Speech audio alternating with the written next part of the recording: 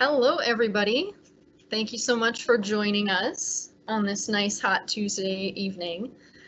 My name is Gail Zembel. I'm the Education and Outreach Coordinator for the Nine Mile Creek Watershed District. And for those of you who aren't familiar, Nine Mile Creek is um, about 50 square miles, the watershed, all as a whole in the Southwest Metro. So our watershed is about 50 square miles, taking up parts of Bloomington, Richfield, Hopkins, Edina, Minnetonka, and Eden Prairie. So we have parts of those different cities. And our goal is to try and keep lakes and creeks healthy. So we do a lot of different things at the Watershed District. We have projects and a little bit of regulatory authority as well. And then we also do education programs like this for adults and families and even um, professional trainings like um, SALT trainings in the wintertime. So if you want to hear more about any of those events that we've got coming up, you can certainly sign up for our newsletter at ninemilecreek.org. And that's an electronic newsletter that comes out hmm, probably every couple months and tells you about upcoming events, cost share grants, things like that. It'll also tell you about our upcoming photo contest. That is an every other year occurrence that um, people can take pictures all around the watershed district and submit them by September of this year. And then winners will have their photos put into the photo calendar for 2021. This is a highly uh, requested photo calendar. People really look forward to it coming out every year. So hopefully this webinar tonight will give you some good tips and you can go out and take some pictures and submit them to our contest. Just a couple things about this Teams webinar here. Um, the presentation will go until about 7.45. And then there's also a Q&A. So it looks like two little chat bubbles on uh, your screen if you are logging in on a desktop or mobile device. Um, some people have um, called in with the webinar number, so that's um, hopefully that is also working.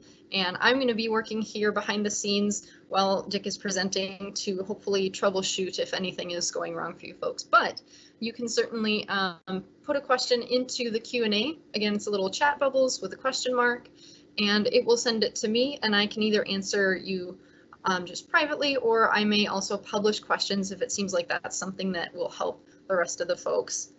And then um, we will also have a Q&A for Dick at the very end. So if you have questions, feel free to send those in and I'll ask those to our presenter. You can also turn on captions if you'd like. Um, if you go to the little icon that looks like a gear wheel, you should be able to turn on captions if you would like to have that option. I also wanted to let you know that this will be recorded and um, sent out later um, to the email that you registered with. So again, let me know if you have any questions and thanks again for joining us. And I'm going to introduce our uh, speaker, Dick Bergstrom, who is a past photo contest winner and um, photographer extraordinaire. So I'm going to turn it over to Dick here. Thanks, Gail. Greetings, campers. I, I you know, it's always fun to be um, part of one of these things. You'll have to um, excuse me if I stumble a little bit. I'm used to being right in front of you. Uh, this this webinar, this distance learning is new to me, but we're going to have some fun. I, I, hope you guys will come along for a walk. We'll run you through all four uh, all four seasons, and hopefully uh, you'll learn something. And when I do these presentations, I'm here to learn as well. I am a amateur wildlife photographer in my spare time, and that means that I'm never too old to learn. So if you guys catch me um, stating something that's incorrect, or you have information that you want to add to the to the presentation, send it on into Gail through the Q&A, and she'll make sure that that information gets back to me so that the next time I do this type of presentation, I'll, I'll make sure that I add correct information. All right, let's see what we have here. Oh, Look at that, the first, there it is. The first button that didn't work. First of all, I just want to reiterate what Gail had mentioned. I want to take a moment to recognize the staff over at Nine Mile Creek. Uh, Randy's the district administrator. Erica uh, runs program and, and projects. Lauren Foley is uh, Permit and Water Resources. Gail, of course, is Education and Outreach. And we can't forget Megan. I, I Megan, I apologize. It appears I added a consonant to your name, but um, I'm sure you'll make it through. And make sure that you take some time to to look through the the web page, to look at all the different things that Nine Mile Creek Watershed District does. And of course, as Gail mentioned, there is a, uh, a calendar contest coming up. I think there you're limited to 15 photographs, if I'm not mistaken. You want to make sure that they're they're not edited. Excuse me, I'm working my way through some um, through some allergies.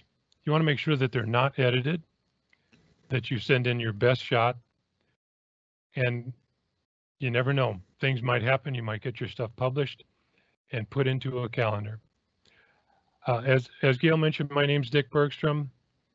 Uh, I live in South Bloomington with my wife and uh, two sons and our kitty cat. We've been here for 21 years, so that makes us uh, the new kids on the block. We are close to Harrison Park, which is a few steps away from Nine Mile Creek, which is a few more steps away from Moir Park.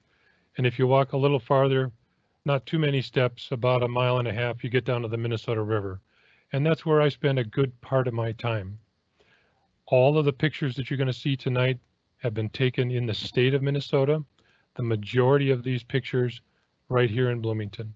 So wherever you are and whenever you are, whatever time of day you end up watching this, welcome. All right, so we've got uh, this particular slide, the first few slides we're going to go over. And again, I apologize for this uh, malfunction, but we'll get through it. The first few slides we'll go over is focus. I had a, um, a uh, photography teacher who used to like to say, focus on focus. Keep your eyes focused. This particular one shows you what you're going to run into on the trail. Well, I'm going to say 75% of the time, you're looking at the uh, wildlife. In this case, it's a woodpecker, but what you can see in the foreground is a branch. The camera wants to look at the thing that's closest to it. Unfortunately, you can't, this was 75 yards away. I can't reach up and snap that branch off and expect that the, the woodpecker to stay still. Plus, it's not my style to go to, to go wrecking the forest just to make sure I can get a shot. What I want you to understand is don't be don't be put off by this. Don't say I, I, I can't do it. It's it's too hard. There are a couple of ways to trick your lens to to not see that branch in front of you. That would be probably another presentation. Let's see if I can find the the next shot. It's a little harder on here. And I'll show you what it's supposed to look like. All right. There we go. So you can still see the branch in front of in the foreground, but it's blurred and the woodpecker isn't. Again, I apologize for the diminutive size for this presentation, but we're going to have to go with it this way. The woodpecker is in focus. That's what I was looking for. The branch in front of it, I didn't want there. Don't lose hope. You can do this. It doesn't matter what camera you're using. If you're using a long lens like I have, or if you're using your cell phone, you have to be a little closer with the cell phone. If you have a point and shoot, that's fine too. Hopefully you'll you'll be able to find a few shots that'll make you happy.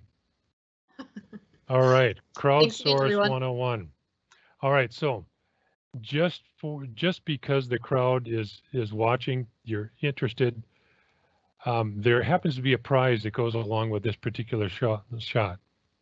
First of all, this is um, this is intended to show focus. The the animal is in the foreground. The backup background is blurred.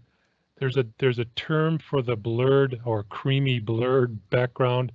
I'm pronouncing it bokeh. Um, it could be bouquet. It's not bouquet like or a bouquet of roses.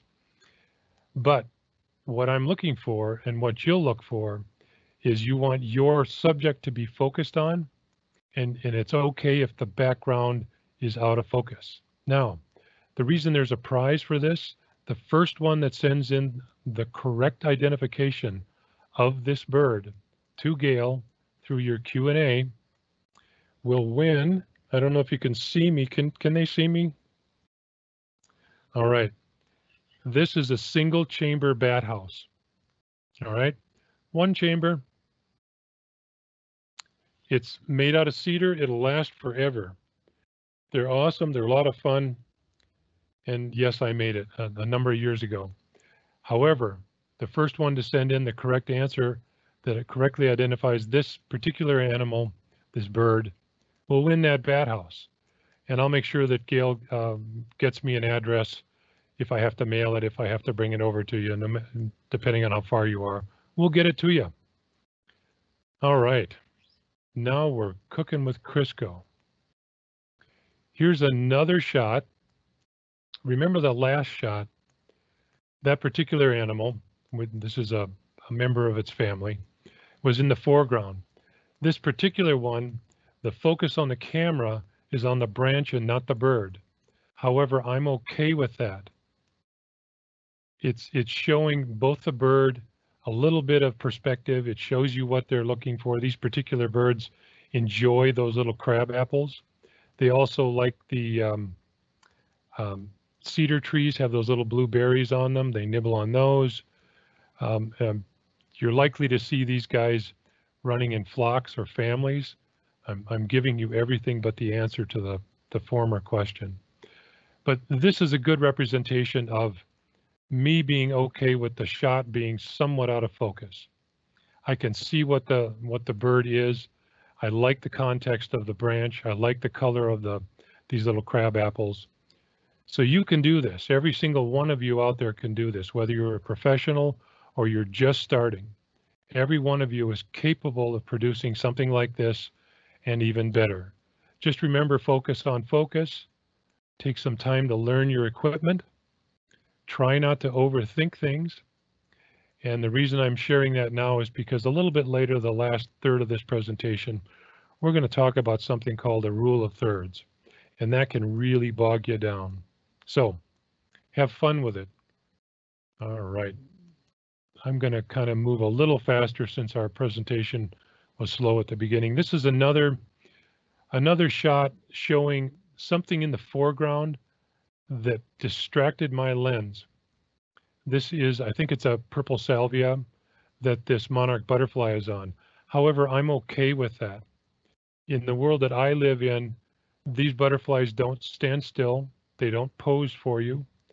They're not interested in what you're interested in. So you take the shots when you can get the shots. In this case, I would have preferred that piece of the flower be out of the shot, but it's okay. It's part of what you see when you're out on the trail it's part of what you're going to experience.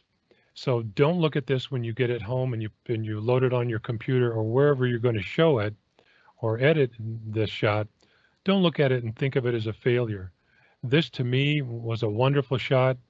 It gets a lot of commentation, uh, commentary when I when I show it, and I really do enjoy it. So don't don't be too critical. Don't be too hard on yourself. Here's another one. This is focus. This is a good example of focus on the foreground. These are geese, Canadian geese. This is down where Nine Mile Creek. There's a little trail that heads from the creek over to the Minnesota River. This was in the spring and it was spring flooding. I don't know if you can tell from where you're looking, but each one of these geese is just resting and they're resting on one foot. The, the goose in the foreground is on one foot and it has one eye open and it's watching me, which is kind of fun because I played around with these geese quite a while that day. But as you progress farther and farther in the back, uh, the background, you see that they go, they become more and more out of focus. That's what I was hoping for. That's what I was shooting for. I think it lends to this particular shot. It tells a story. Um, every shot, every picture tells a story, as the song says, and every picture is worth a thousand words. So again, don't be afraid to try. Learn your camera. If you have a cell phone, I'm going to pick mine up. I have an iPhone. Um, I like their cameras. I've never used an Android. Um, they have a lot of editing built in. I don't use too much editing. When I do edit on, on my desktop, I use a, a uh, Apple product. It's a free product called Picasa, not Picasso, Picasa. It has more than enough energy and horsepower for me. I, I, I never edit anything out of the picture that's in there. In other words, I don't have Photoshop. I'm not I'm not going to cut Photoshop down. It's a wonderful program. Um, Picasa's free. I like the cost of Picasa. I choose not to take things out of the photographs. I shoot them as they are. All right. Now we move on to lighting. Some of you can can uh, quickly identify what I'm shooting here. This is poor lighting. It was a it was kind of a gray day. It was winter. The sun was it was already starting to set and it was somewhat off to my left. So it didn't light the subject at all. I'm going to say another 50% easy of the of the shots that I take are shot poorly in poor light. The lighting is either behind the subject. In, in this case, you'll get a silhouette. This particular, um, it happens to be a raptor. Uh, you can tell by the ears or what look like ears, what kind of animal this is. I happen to like this. I carry it with on presentations just to show that every shot I take isn't a clear shot. It isn't perfectly lit. It's not always in focus. This is the trouble that I run into out on out on the trail, just the same as every one of you will. This happens to be a great horned owl. Um, I've had the the pleasure and the good fortune to to follow a mating pair of great horned owls for the last five or six years, perhaps seven, as well as a mating pair of barred owls. Um, I get asked quite frequently if I'll take photographers to where these owls live and you'll have to understand that I'm rather hesitant to take them into the owl's territory. I I have to know you. I have to know that you're not going to pin this on a on a, a GPS map. Uh, I, I don't necessarily want tours coming through. These owls like their privacy. They they they they really need to have that privacy respected. They know me. They know that I'm not going to come close. They know that I'm not going to do anything dangerous. Um, they've they know me to the extent that they've gotten used to me, or at least that's the way I feel. They don't fly away now. Um, whether or not they recognize me is is you know that's perhaps that's a silly pipe dream, but no, I don't I don't give away the uh, the exact location of these of these owls. And and um, if you want to come uh, on a photography hike with me sometime, I've given them before more than happy to do so. Probably three to five people. That's that's probably a good number. We don't want too many out there. All right. Now, this is a barred owl. This is in the middle of winter. This particular day was about 20 below zero, and you can't see it on this shot, or maybe maybe you can. Its its right eye is almost closed, and if for anyone that's been outside in the in the dead of winter when it's well below zero, you know that your breath you, your breath freezes. It freezes to your face. It freezes to your eyelids. Freezes to your eyebrows. I have a mustache. I used to have a goatee. It would freeze to anything on my face. This particular owl has some frost on its on its uh, the feathers that make up its eyelid on its right eye. You can't see that. I can see it. I know it's there. Um, it was looking for any kind of sun, any kind of warmth. Again, the, the light angle is really, really low on this one. It was 20 below when I went out. Um, this is illustrative of halfway decent lighting. The, the light is in the subject's face, which is what I wanted to photograph. It was turned away from me earlier I, I made a little clicking sound and it turned towards the sound. Um, again, I know these owls, they know me. Um, when it turned towards me, it leaned into the into the light. It was in the shade. The branch that it's sitting on took a little bit of the focus away from my camera. Don't worry about it. the, you know, this would, this is a wonderful shot. I, I had a great series that day. I, I'm just really, really happy to be out when it's cold. I don't do really well when it's hot and sticky like today.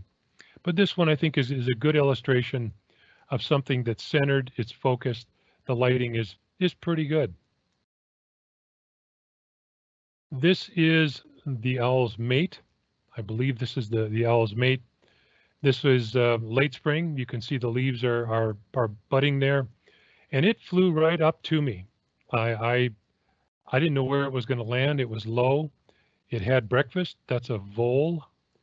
Um, it could be a mole. It's not a mouse. This is what the owls eat. This again is a barred owl. I put this one in here for lighting. Uh, because you see half the face is in it's in sunlight, the other half is in shadow. And I didn't edit the other half out. I could have brought the light up. I could have changed the way this particular photograph looks in editing and post-processing. Um, the type of processing that I do in editing is I want to bring it back to as near as natural as I found it. So my brain has to remember what I was seeing I don't edit in the field. I don't look at any shots on my viewfinder in the field. The viewfinder is turned off and turned back towards the camera. I, I get to see what I shot when I come back home. This particular day was uh, a lot of fun. This guy hung around. He gobbled down his breakfast, and I assumed that there was some owlets somewhere in a nest. I never did find the nest that year. This was three years ago.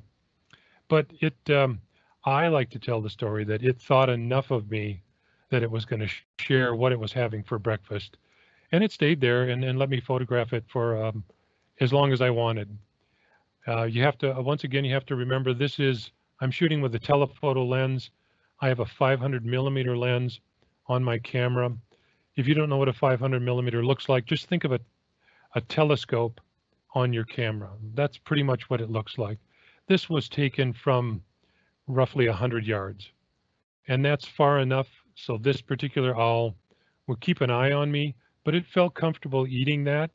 And then it was going to bring it back to uh, to the owlets in the nest. And I, I didn't bother to um, watch it or wait for it to fly into the nest. I like the composition of this one. We'll get into the rule of thirds a little bit later. I like the composition. It's centered. There's a lot going on in this particular picture but I enjoy the the sort of the yin the yin and the yang, the light and the dark of the face. The fact that you can see it's breakfast. I assume that was breakfast. It's probably brunch. And um, if I was to zoom in a little bit more, you'd be able to see detail on the on the talons, the feet.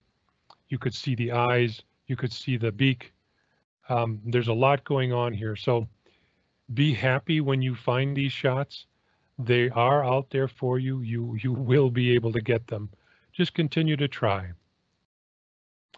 All right, this is a green heron and it's eating a cicada. I hope I'm pronouncing that right.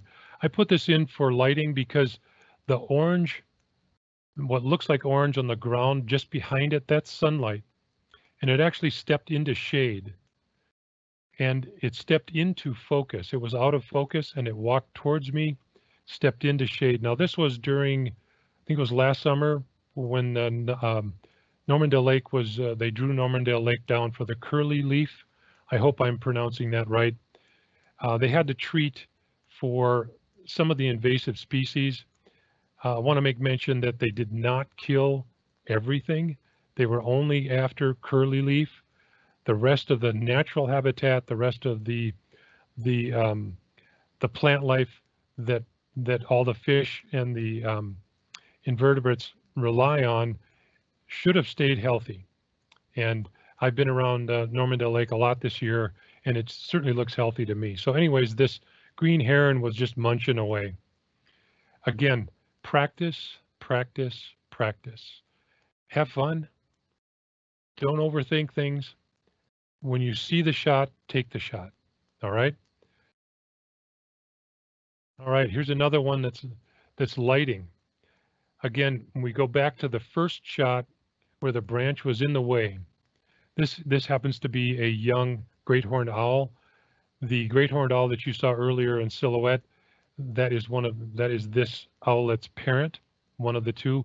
I, I, I don't know if it's a male or female, the parent, and I don't know the sex of this one. Uh, I followed these guys through uh, uh, fledging and was fortunate to be able to watch them fly away. This one had gotten out of the nest and was just literally just stretching its wings. But you can see the frustration if you're a photographer and you don't want that big branch in the way.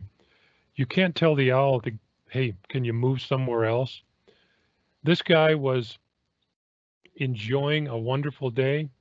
The reason I put this in here for lighting is because the background is just about as light as it as it was. It was a really gray, kind of an overcast, cloudy day, really hard to shoot, hard to find where the light was. Again, I, I, I made a clicking sound. It drew this owl's attention to me. It was looking out over a pond. It looked at me, was flapping its wings. One of the reasons it was flapping its wings is because a crow had found it and it was starting to pester it. And this little guy doesn't know what to do with crows. It, uh, it barely knew what its wings were for. So I took a quick series of shots and I moved away. Again, we want to respect the wildlife, make sure that we're never too close.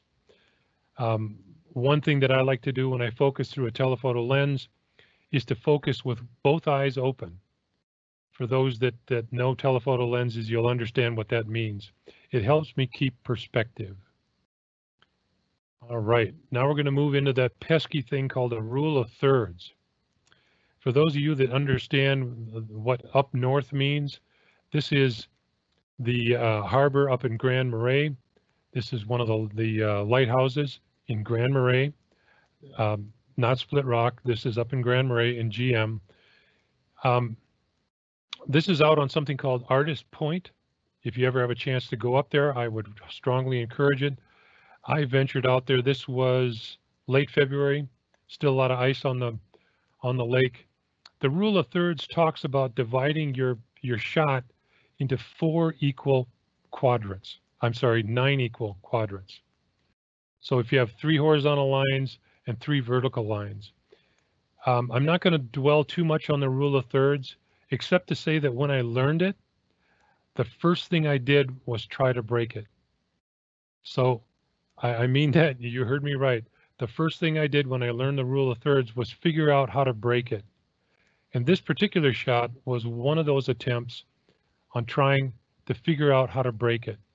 What I really wanted was that lighthouse, but there's so much more going on in this picture.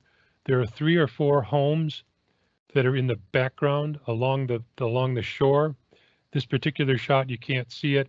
I was playing with editing and, and the reason it looks the way it looks is because there's a there's a button on the Picasa that says, do you want to make it look like you painted it?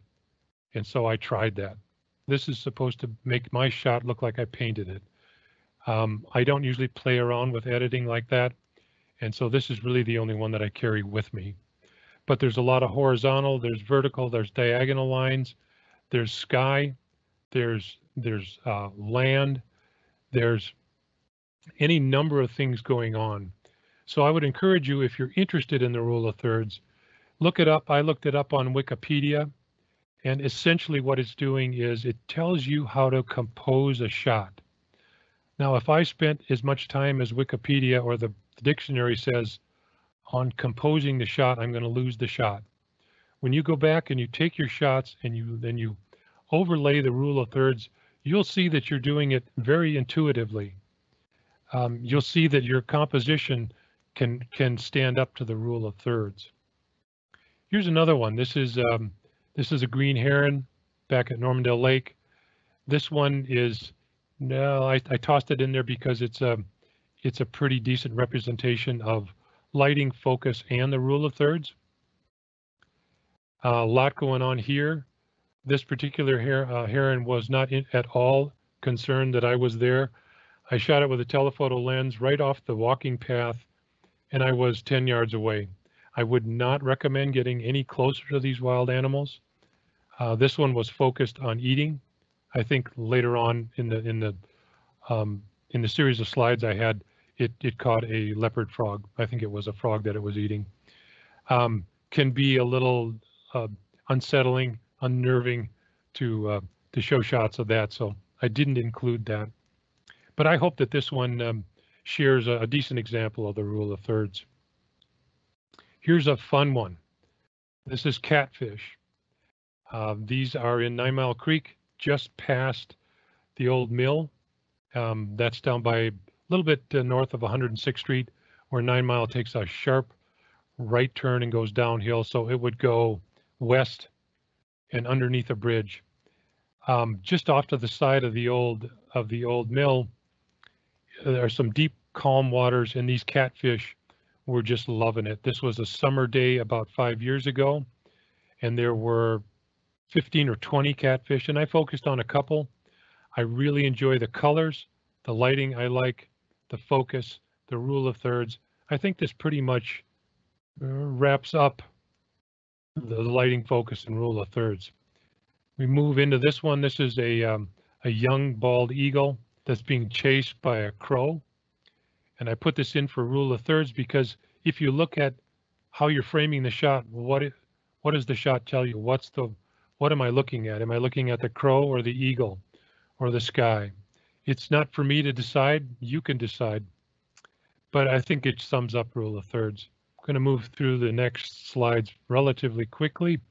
Not sure what you're viewing this on. This is a northern water snake.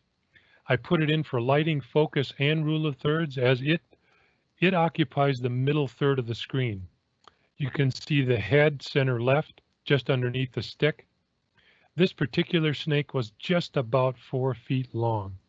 And uh, I was, again, telephoto lens, I was 25 yards away. This was moving water, midsummer. The water is about inch and a half deep. I like shooting things in water. I like the distortion the water brings. You can do this with your cell phone. You can do it with a point and shoot, or you can do it with a professional rig. It's up to you, but I would encourage you to get out and try. To move on here. This one I like. It's lighting focus color. This is a not quite mature bald eagle. They look kind of uh, kind of calico, kind of different colored like this. They don't get their white head and white tail until the fifth year of life. So they've made all their mistakes. They're they're they make all the silly mistakes. They they they um and they are funny to watch when they're young. They trip and fall and stumble just like any other kid. So they when they have their white head and white tail, they've earned it. All right, sorry that I'm going fast, but we did start late and I want to respect your time. This is a great blue heron fishing in Nine Mile Creek. What it has in its mouth is a bullhead. Um, I've I watched this guy for two days. I have another slide deck that uh, shows it eating a northern, and uh, the northern was about a foot and a half long. This particular bullhead was, I was amazed that this animal could swallow it. They flip it around, they eat it whole, they eat it head first because they know the dorsal fin will will um, pierce their their throat and stop them. Um, it took a long time for this particular animal to, to swallow it, but it did just that. I have it here for lighting, focus, and rule of thirds. A lot going on in this shot, a lot of water spread all over the place, the eyes open. Um, I think there is a membrane that covers the eye when they go underwater. This one went underwater to, to catch this fish. Lots of times they spear the fish. This particular time it caught it in its in its uh, uh, beak, the northern it speared, and it had to use its foot to pull it off of its beak. That was an interesting shot. Anyways, we're going to move on. I apologize for the time consuming. If I remember, this is the last slide in the deck. This is a snapping turtle, just out doing what snapping turtles do. This is a female. She came up out of the creek. She was looking for high ground to lay her eggs. We're just sort of in the tail end of that particular season now. You're going to see painted turtles. You're going to see snapping turtles. If you're lucky, you'll see a Blandings turtle. Um, some others. Uh, look up the number, the types of turtles that, that live in Minnesota. Painted turtles and snapping turtles are, are the most prolific. Please leave them alone. Don't pick them up. If you have to, if they're crossing the street, please move them in the direction they were going if you turn them around, if they just started crossing the street and you turn them around, they will literally wait for you to leave and go ahead and cross the street. Their instincts are telling them, I want to go in that direction. So if you must pick them up, you can pick them up by the middle of the shell. Do not pick them up by the tail. I've, I've heard that before. Oh, you got to grab the tail. That is not right. Uh, be careful of their claws. They're, they are sharp. Don't go anywhere near their mouths. Even a painted turtle can, can pinch you really hard. And as quickly and as carefully as you can, move them in the direction they're going. And that will save them. That will help them. Uh, they'll lay their eggs and then they'll do what they do. They may want to come back across the street. Um, you did the best you could. You don't have to stay and wait. If they see you, if they know you're there, they'll just wait for you to leave. So I think this is the last slide, uh, slide that I have in the deck. So then we're going to move on to Q&A, and I'm going to turn this back over to Gail. She's going to send in the questions. I'll do the best I can. Again, thanks for helping out. And uh, I, I hope you guys learned something. And I'm looking forward to your questions and looking forward to learning from you. Thanks so much, Dick. That was great. Those are awesome pictures. And again, you know, kind of to echo what Dick was saying, that we would love to see your shots as well. And so practice is a good way to do it. So please feel free to send those into the photo contest or even just send us an email and we can share it out. Um, if you have any questions, please go ahead and type them into the Q&A and I will read them out um, to Dick as they come in. Do, do we have anyone that's been brave enough to identify the bird on the, I think it's the fourth slide? Yes, we did. We had several correct identifications, so good job to all of you bird folks out there. Um, Rick right. was the winner of the contest, got in really fast right there at the first, so congratulations to. Fantastic. We'll work on getting the Congratulations, house too. Mhm. I, I hope Rick is local. Yes, yes, he is. All right. so we have our first question here, Dick. Uh, the question is, how would you photograph a hummingbird or any fast-moving animal for that matter? Great question. Thanks for asking. And in the original slide deck, I was considering putting up a, a, a shot of a hummingbird. So um, hummingbirds are are absolutely fantastic birds to watch. Um, you can photograph. They're not as shy as you think. They're interested in the nectar. If you have a hummingbird feeder, they they're not going to run away from you you could photograph a hummingbird with your cell phone. You have to set up the, the hummingbird feeder. You have to know when they come. You have to know where they go. Hummingbirds like a place to run away and hide. So a pine tree, that's a perfect spot. If you have a hummingbird feeder, let's say it's in your backyard, your front yard, and you don't have anywhere for the hummingbird to, to run away to or to fly off to, they may not stick around with uh, with my telephoto lens, it's a lot easier because I don't have to be anywhere really close. I use autofocus, not manual, and then set it to the feeder.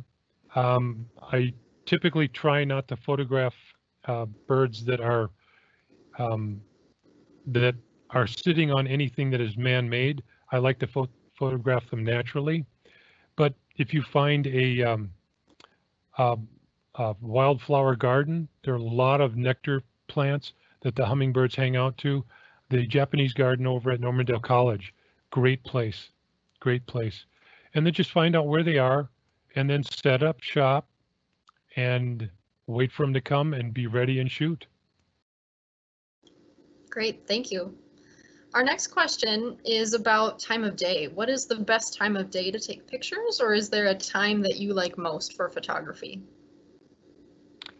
All right, great question. Uh, time of day. So I have a weather app on my phone and I use it religiously. It tells me when the sun's coming up, it tells me when the sun's going down, and it tells me where the angle of the sun will be so that if I want to choose to go out, if I have time, let's say it's January and I want to go out from 11 to 1, I know where the angle of the sun is. So for me, I want to look where the sun is I want to make sure the sun's over my back shoulder. I'm not shooting into the sun. And then I'll go out. But really, an, a quick and easy answer whenever you have time, that's the best time to go out. If you're looking for great pictures, every shot you take is a great shot, right? So don't don't worry about having the perfect time of day to go out. Just grab your camera, your cell phone, whatever you're using to shoot. Go out, enjoy, try, focus on focus, have some fun. Hope that answers that question. Yes, thank you. Our next question is, do you use a balance stick or monopod or tripod when shooting with a zoom lens?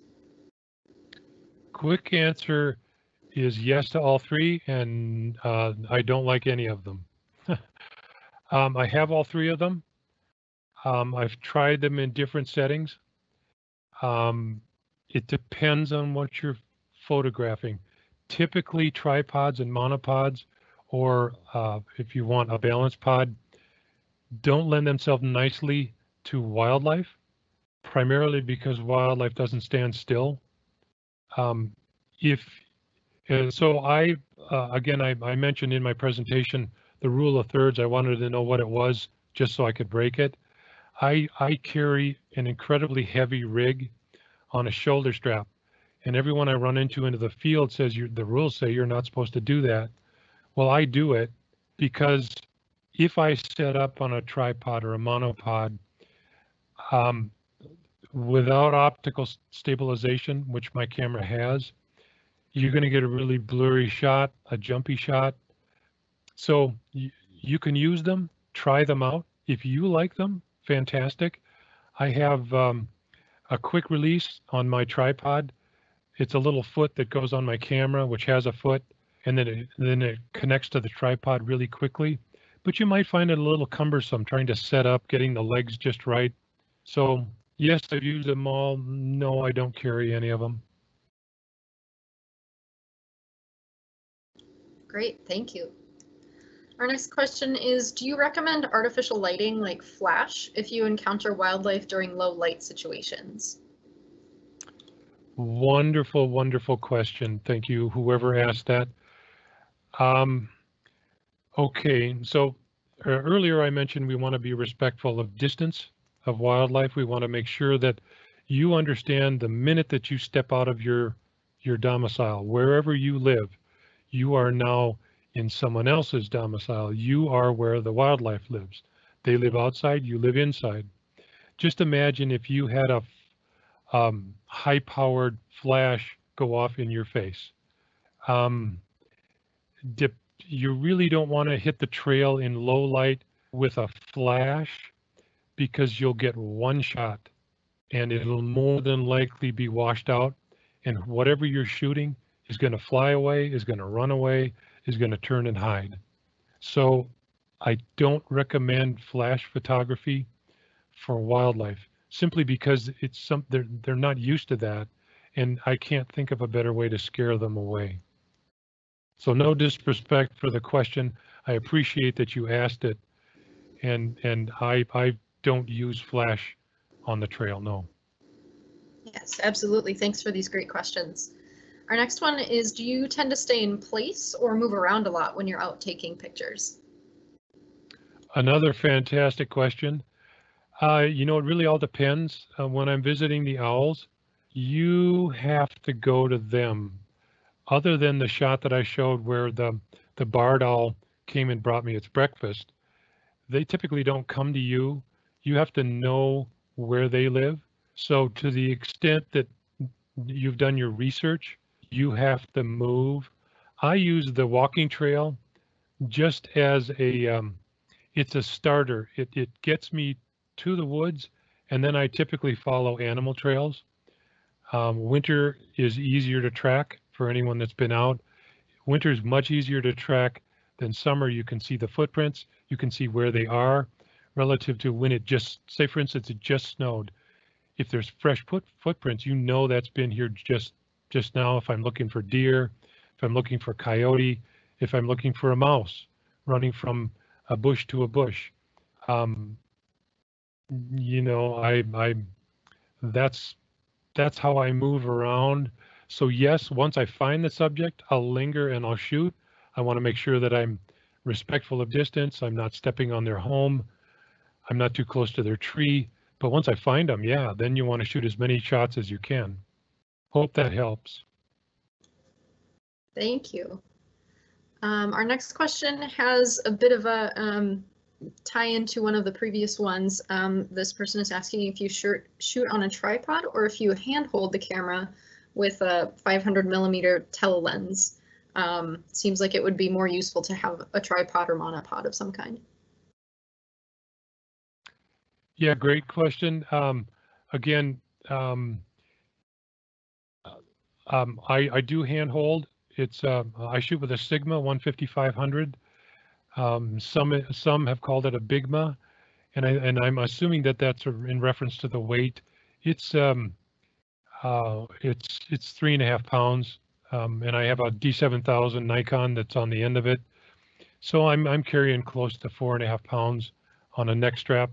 You're right, it is heavy, but I'm used to it. I've adopted a style. And again, um, especially in the winter, I, I do not carry tripods. I don't carry any gear that I don't need or that I won't use. So um, if you see a, a, a, tall person in the woods with a huge camera on a neck strap in the middle of winter, that's me. Um, I don't. I tend not to carry things that I know I'm not going to use. In my backpack, I'll have um, a bottle of super hot water, especially when it's cold out, so it doesn't freeze. I'll have some trail mix. I might have an apple or two and a granola bar, and that's about it. Good advice. Thank you. We do have time for maybe one or two more questions. So the next one that came in was, what was your closest and scariest call shooting wildlife? Haha, how much time do you have? um, well, uh, there are two to the two that come to mind. Um, I I put one picture in the slide deck tonight. The other one I didn't. Um, a number of years ago, I was out um, tracking owls, and I looked off to my to my right, and about 60 yards to my right, I saw a coyote. And so I thought, well, I'll just track that coyote. They're they're just they're not going to hurt me. Um, they're just keeping track of me. And I was looking for my owl, and it the coyote seemed to be looking past me or through me. So I looked in the direction it was looking, and about 60 yards to my left was another coyote. So there were two of them, and they were keeping close watch on me. Now, I hadn't seen any coyote tracks. I didn't think I was any anywhere near their den. Um, so I suppose you could let your mind wander and say they were sizing me up. They don't. They're not. They're they're afraid of people. They're not going to come anywhere near you. So if you wanted to be scared, you could say that was scary. The um, the the great horned owl that was on the on the uh, tree, the dead tree, that was the young one that was flapping its wings. I had been watching a pair. There were a pair of owlets that year. That year I got too close and one of them uh, got frightened and flew into the water. Uh, it didn't realize that it could fly. It stopped its flight and it landed in water. And as soon as it landed in water, that's the same as ringing a dinner bell to the other raptors that would prey on an owl. And wouldn't you know it, there was an eagle right in the top of a tree. Now I recognize the error of my ways. I stayed on scene for about an hour. I waited for the owl to swim back to shore. I have a great series of slides of owls swimming. They're good swimmers. Um, I made sure that all got back to safety. Uh, didn't sleep at all that night. Went back to the to the tree that they were living in and saw that yes, indeed, it did make it back up with its with its mate. I do have slides to show that to prove that. And so, if you're talking about scary, I was more scared when I when I blundered and got too close to that owlet than I was when the when the um, when the two coyotes were walking with me. Wow, those are incredible stories. Oh my gosh. Thank yeah, you so lots much. Lots of things happen um, when you're on the trail. Yeah. Yeah. And hopefully you guys can also have some of those cool experiences while you are out on the trail as well. And don't forget that, again, we have a photo contest coming up. You can go to ninemilecreek.org to look at the official rules and the deadline and entry forms, um, but just try and get those in by the end of September, and um, you can be entered into our photo contest. Again, just a reminder, this will be recorded, and I will send it out to the email that you registered with. And again, thank you so much, Dick Bergstrom, for sharing all of your advice with us. My, my pleasure, Gail. Thanks to all for tuning in. And just quickly, if, if you um, um, want to ask some more questions, um, you can get in touch with me, send them, send your questions into Gail and, and she will forward them on to me. Thanks Yes. to Million Campers. Enjoy, get out, focus on focus. Yes. Great. Thank you so much. Have a good night, everybody.